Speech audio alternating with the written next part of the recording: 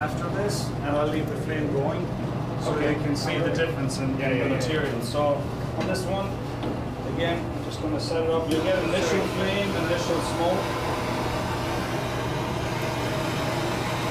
And then once it forms that char, you can see that flame just comes down to very, very, in fact, it'll disappear completely in a second. So, so the char is forming, I'll let you guys go in there. And in a couple of minutes, that, that'll actually, there's very little smoke at this point either, so. So it's similar to like redwood, where it seals on the like redwood uh, building. Yeah.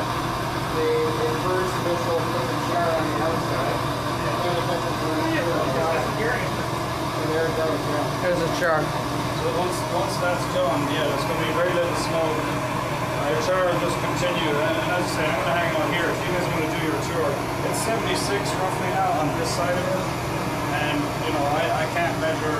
That that'll get up over. Yeah. Well, this will only Yeah. go to 1,000 hours, so